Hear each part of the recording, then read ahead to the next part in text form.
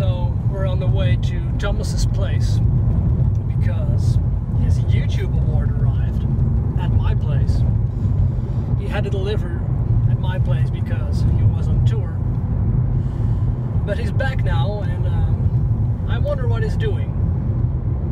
Probably practicing his uh, classical repertoire.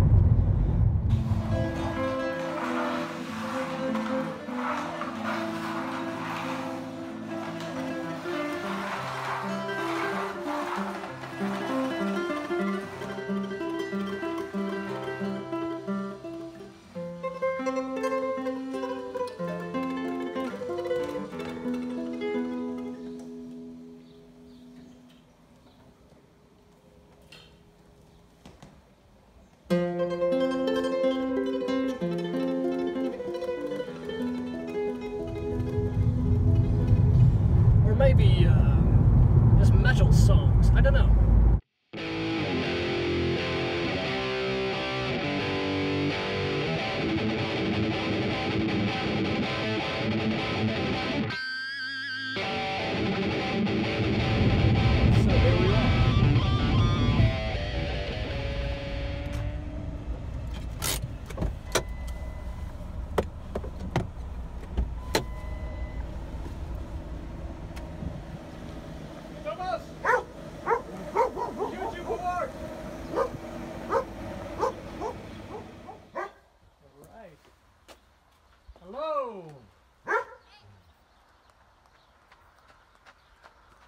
Doing? Great. How's Kira doing? Good, come in. Thanks. Hey, long time ago. Thomas! Post! Anton, would you like gin tonic? Oh, thanks. I'd love to. Yeah. Sure.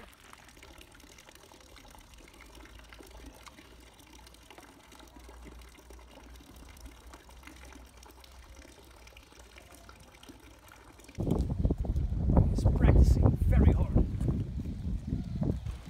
Hey Thomas, wake up! Your YouTube award! Get! Oh. Damn, fuck, I'm sorry, man. Oh.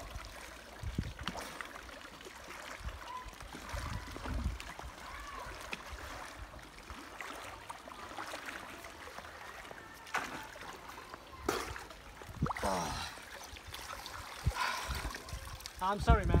Ah. Well, apparently it's not real silver because it's floating. no.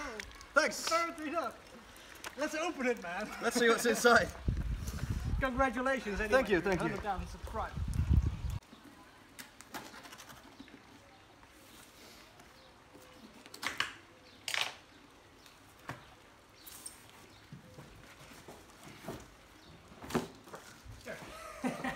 Oh, thanks.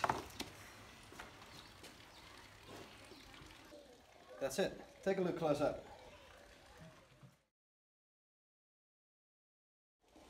So now that you've got your reward, let's talk about your channel a bit. Yeah, sure. I think I'm gonna wear some dry clothes first. All right. Cheers. Cheers. So, uh, how uh, did it all start your channel? I think I created the channel um, in 2007 or 8, uh, which is now a very long time ago. And I think I published the first video in 2009 probably. What was your first video? My very first video was just, uh, I don't know if it's still online actually, I don't want anybody to see it, so don't look for it. But um, Everybody's gonna look for it now. Yeah, exactly. It, it's just a, a, a video of me uh, practicing a classical guitar piece in a boat, because I used to live in a boat at that moment. In Rotterdam. In Rotterdam, yeah, where I was studying uh, guitar in the conservatoire. Uh, but those videos got, uh, I did two of those videos and they got both about 100 views or something like that, nothing, uh, nothing impressive. But then uh, at a certain point I uh, started arranging an Iron Maiden song called Wasted Years, which I uploaded to YouTube as well, and it got about 50,000 views in a pretty short time. And a lot of great comments of people saying, hey, you should do more Iron Maiden songs, it sounds great like that, you should do a CD. And that's when I thought, hey, this is something that actually could take off and could get somewhere uh, and reach a younger audience than the, the Sounds classical. like the beginning of Nylon Maiden. That's the beginning of Nylon Maiden. Do you plan to make more funny videos like uh, Judas Priest video, for example, or more serious videos?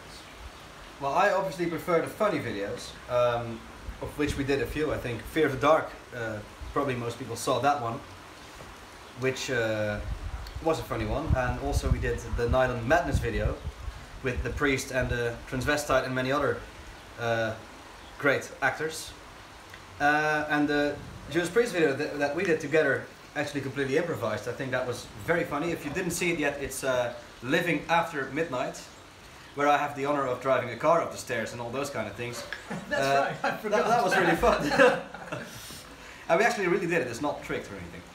Um, No, I hired a complete stunt. oh yeah, yeah, of course. We, we, we have a complete stunt team. We didn't damage anything at all. Um, so um, if people would like to see more funny videos, I will definitely do more funny videos.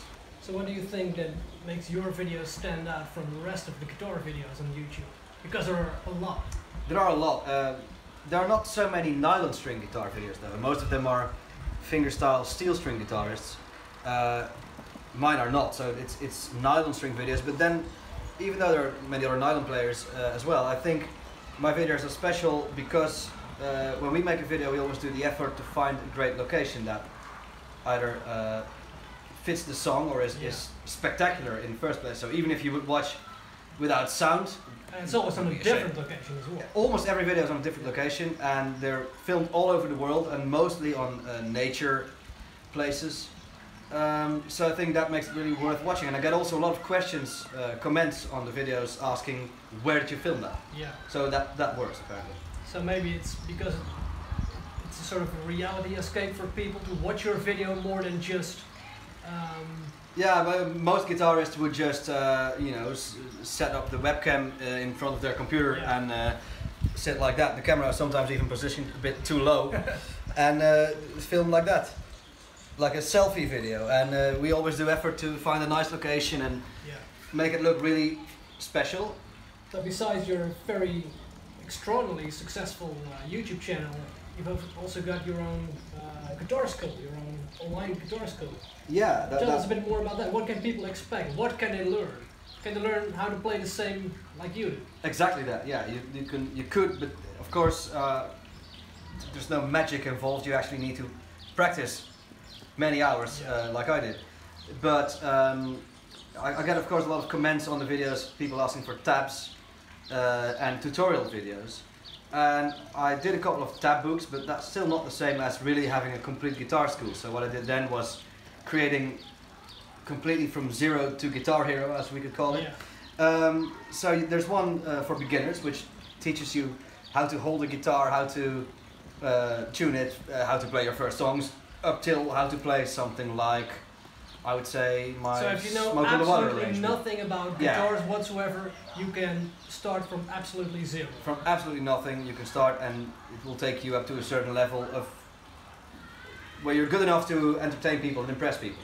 And then there's the advanced guitar course, which is really for people who want to play my arrangements. So the ones I frequently upload, the Fear of the Dark, the, Yeah. the Queen, all the System of Down, whatever arrangements I do that are really hard, and uh, people want those tabs. So if you become a member of the guitar school, you get a lot of tabs and video lessons. And I started doing it because um, with my lifestyle of also touring a lot, it's very difficult to teach people one on one. So this is the best way. So it's at kingofthestrings.com, right? Kingofthestrings.com. Have you got any advice on which guitar to to buy for people who want to play like you? Uh, yeah, that, that will sound very obvious, but of course I would advise to buy my own signature guitar, Yeah. which uh, I made with Ortega guitars, and um, it well, it's currently sold out, so yeah, you cannot buy it anymore. But uh, a couple of weeks ago, I've been working on a new model with Ortega. It's handmade in Spain, and uh, I think it's going to be available at the end of this year, at the beginning of next year again, Yeah. and it should be available worldwide at OrtegaGuitars.com. And is your um, guitar course also va- valuable for people who play electric guitar?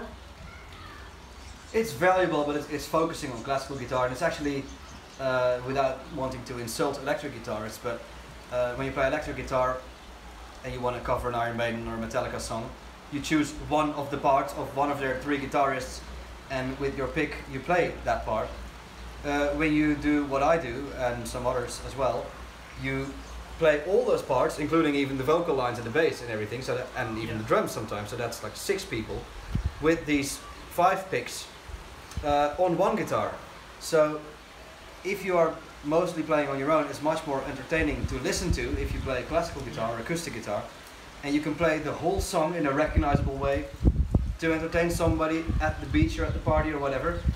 Yeah. Uh, it makes a lot more sense than playing on your own the electric guitar part, uh, which most people would not even recognize without the rest of the band around. You can be a one-man band. Yeah, uh, this of course with all respect to electric guitar players, but uh, yeah.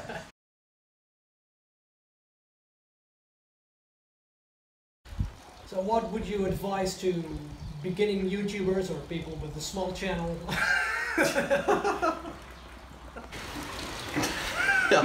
Boys, look at it. Natuurlijk al. Dat even openen. So what would you advise to people? Many uh, YouTubers asking you probably how did you build your channel so big? so what would you advise to beginning YouTubers who want to grow their channel? Because you mean they have a small one? like that? So you proved with your channel that it's possible to um, start from literally zero and grow it very big. so you obviously have a big one, but what would you say to people with uh, a small channel? Oh, you're talking about channels. uh, if you have a, a small channel and you want to have a big channel, or if you have even maybe have no channel at all, uh, but you want to have a big channel, I would advise uh, a couple of things. First of all, you need to find something unique and original. In my case, that was playing Iron Maiden and metal songs with classical guitar. Um, so something that not everybody does. You also need to be quite good at it, obviously, otherwise I wouldn't even put it online. And also you should do effort to make the videos really good quality. So sometimes I see people who are playing fine, but they're filming themselves. And at the beginning of the video, you see them walking up to the camera and Yeah. pressing record. Well, you could, for instance, cut that off before you upload it. Um, And then they wonder why they have. then they wonder why they have not many views. So I would say uh, quality content, and also it's very important to upload frequently, so that people know that if they like what they saw, they can keep following that channel, and they will get at least next week another video in Yeah. similar style. So it's quality and consistency in your opinion. That's it. What can uh, your viewers and subscribers expect in the future? Well, of course, uh, more of the same. So uh, I'm, I'm working on new arrangements all the time. Um, one of the next videos is going to be the number of the beast with uh, these little new beasts. Also, that one featured. Uh, actually, people saw a lot of cats in my videos through the years if, if they watched well. Uh, so we're gonna bring that back. So cats are returning to the YouTube channel. Also, this uh, monster here. And um, what can you expect? A lot of nylon metal. So because I'm kind of running out of Iron Maiden songs, you could say. Um, I'm now arranging songs by other bands that I like a lot. That's a lot of System of a Down, Metallica, Hammerfall, Helloween, Kiss, and a lot more. Um, maybe every now and then a guitar lesson. Yeah. And funny Uh, videos? Funny videos, especially, definitely. Um, I think there should be a new video clip in the future, like a real funny one with actors and uh, funny things happening. Maybe uh, people can let us know in the comments below what kind of videos they especially want to see. That's a great idea. So anything else you want to say to your subscribers? Yes, uh, obviously, I'd like to thank you all for subscribing. It means a lot that I actually got this award. It's something I didn't expect so many years ago. Um, and also thank you for all the nice comments that I got on the video, and thank you for sharing the videos, for maybe becoming a member of King of the Strings or ordering a CD or something from the website. Uh, the support of all those people makes it possible to keep that channel going and actually makes it possible for me to make being a musician my full-time job. So thank you. Without them, it's not possible at all. It's not possible at all, and um, I think it's it's uh, it's working well like that. So I'm doing what I like, and people like watching it. So that's great. We'll just keep doing that. Well, the drink is finished, so um, the interview is finished. Um, Yeah, mine was actually finished a long time ago. That's a hint. that's Uh, it. Right. So thank you for watching, and uh, we're gonna celebrate now with hopefully another gin tonic. The 100,000 subscribers and the silver play button award.